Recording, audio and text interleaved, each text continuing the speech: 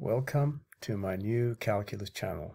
My name is John Gabriel and I didn't think I'd be producing another video but here I am once again.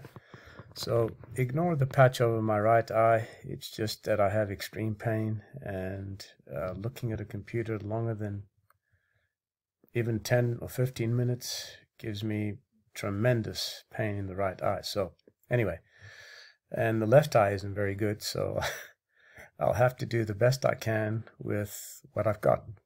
Now, one of my subscribers, uh, someone called Shanky, asked me recently about constructive analysis. So, first of all, it should raise a red flag if you hear, uh, if you read what it's all about. Now, constructive analysis tries to uh,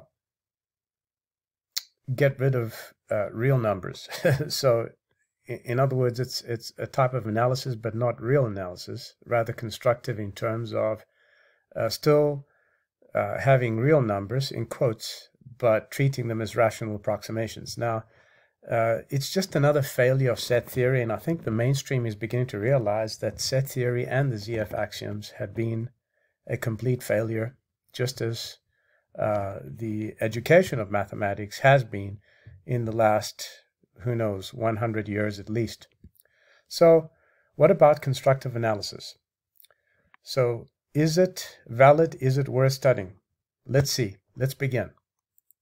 Now, I've constructed this little applet for you here, and uh, I'm using the function f of x is equal to x squared, which is really just a parabola.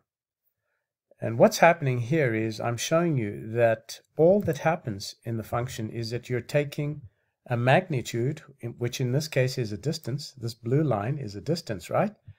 And you're scaling it to another magnitude, which is a red line, which is the y-ordinate. So that's all you're doing. You don't really need uh, real analysis for this because the function doesn't take, uh, the function doesn't necessarily need to take a rational number for example, it doesn't need to take 3 and give you 9. It can take a magnitude without any measure, for example, like pi or square root of 2 or any other magnitude. By the way, square root 2 and pi are not numbers. They are incommensurable magnitudes, and the Greeks called them such because they have no common measure with any other magnitude except themselves. The word irrational comes from the Greek word alogos, which simply means unable to write in the form of a ratio of two magnitudes, which have a common measure, by the way. Not just two magnitudes, but two magnitudes with a common measure. For example, pi itself is a ratio of magnitudes, but those magnitudes have no common measure. Right? Because really pi is realized when an attempt is made to measure the circumference with the diameter as unit. Similarly, square root 2 is realized when an attempt is made to measure the hypotenuse, hypotenuse of an isosceles right-angled triangle with equal legs, right?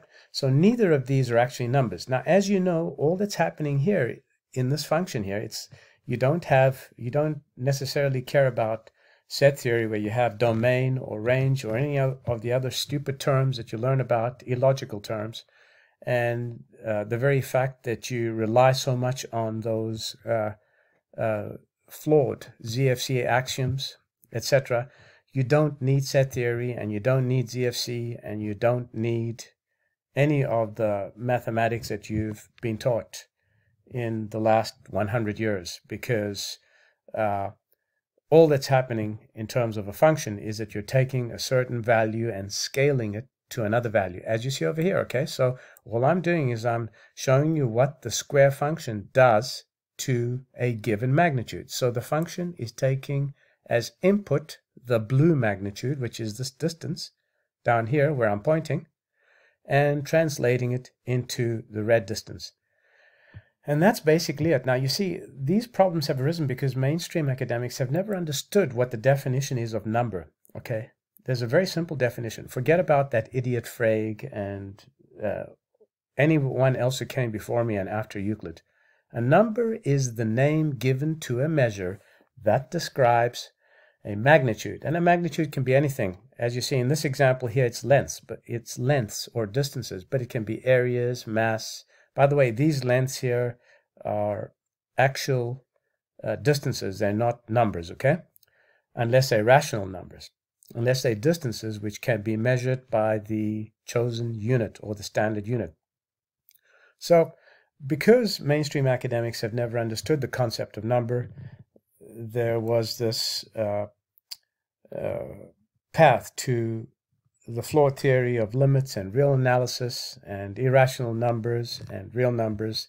There's no such thing as an irrational number because a number is the name given to the measure that describes a magnitude. And you can find all these things in my free ebook, to which I will give you a link and you can download it and there's uh, a lot of information in there that will teach you real mathematics and not the mathematics that you've been learning in the past I don't know how long. So now uh, as a final note um, I'm going to upload this also on YouTube as well as my BitChute channel. So please subscribe to my BitChute channel. I don't know if I will be producing more videos but on the rare occasion like now and I have the energy and I feel well, I'm able to produce one or two videos. So, so subscribe so that you can be informed. Now, uh, that's pretty much it. So I will leave you with those thoughts. I don't think constructive analysis is worth studying, just as real analysis is not worth studying. And I hope that you have learned something from this small presentation.